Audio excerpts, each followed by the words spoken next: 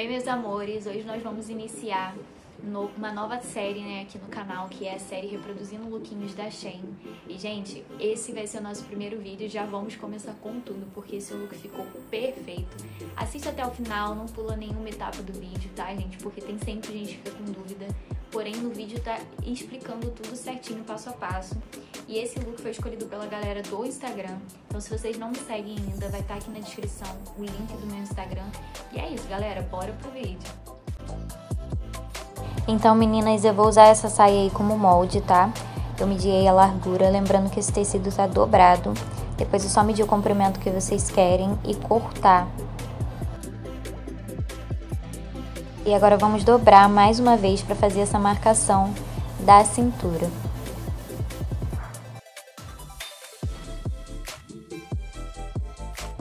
Vamos posicionar a saia dessa maneira aí, colocando o meio para o meio e as pontas viradas para as pontas do tecido. Vamos fazer uma marcação com a caneta e depois vamos cortar.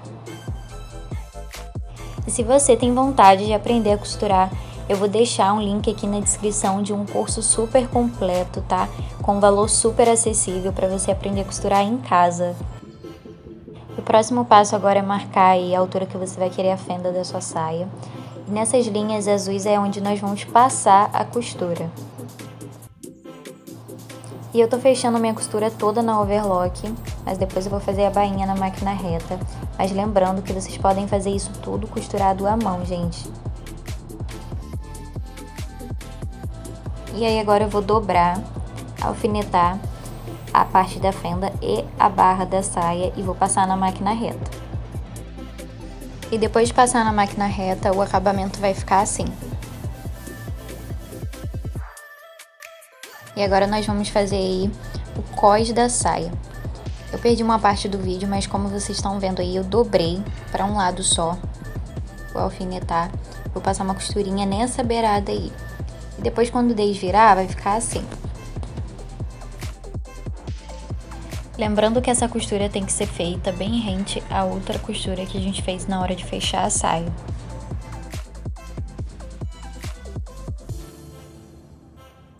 E quando virar, ó, vai ficar assim. Essa é a parte que vai ficar pra dentro e essa pra fora.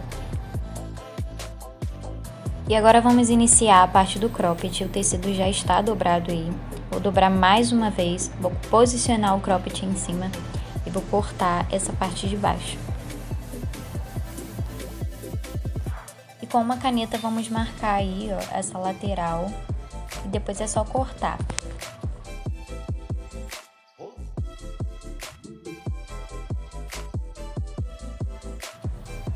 E agora vamos virar aí e cortar o outro lado igual.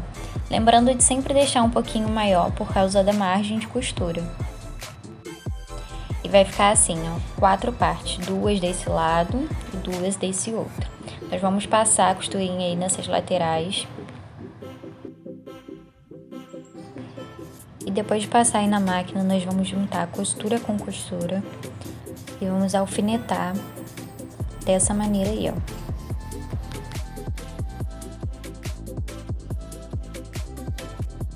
Vai alfinetando ao redor de todo esse cropped.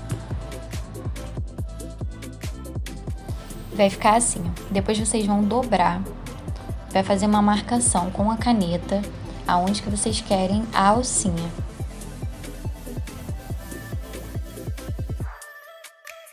E para fazer a alça aí, eu dobrei o tecido, deixei mais ou menos uns dois, três dedos, vou cortar, alfinetar e passar na máquina overlock.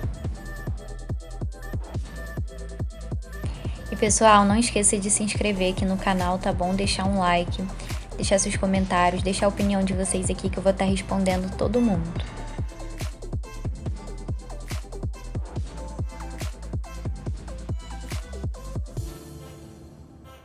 E depois é só fazer um piquezinho na pontinha.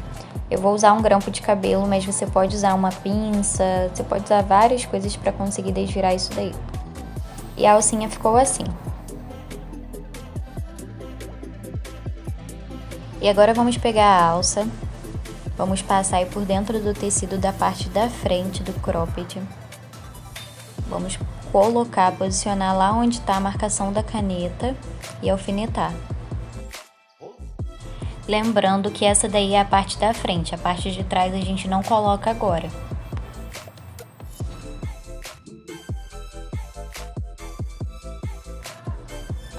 E vamos repetir o mesmo processo do outro lado aí, continuando na parte da frente da blusa. Eu alfinetei e agora nós vamos passar uma costurinha só nessa parte da frente, a parte de trás ainda não. Eu vou desvirar aí para vocês verem como que fica bonito. Gente, parece difícil, mas se você for acompanhando o vídeo, fazendo passo a passo, vocês vão conseguir.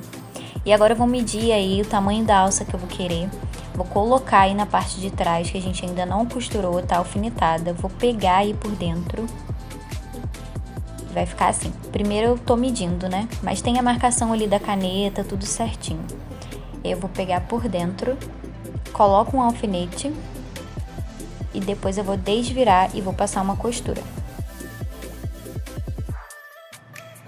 Depois é só passar a costurinha aí e desvirar, tá vendo? O nosso cropped já está quase pronto. Parece difícil essa costura, mas não é e deixa um acabamento muito bonito, não só para quem está costurando a máquina, mas também para quem vai fazer a mão. E aí ficou assim o nosso cropped. Agora nós vamos fazer a bainha. E nessa parte aí nós vamos dobrar para dentro Pode alfinetar e passar uma costurinha reta ou zigue-zague.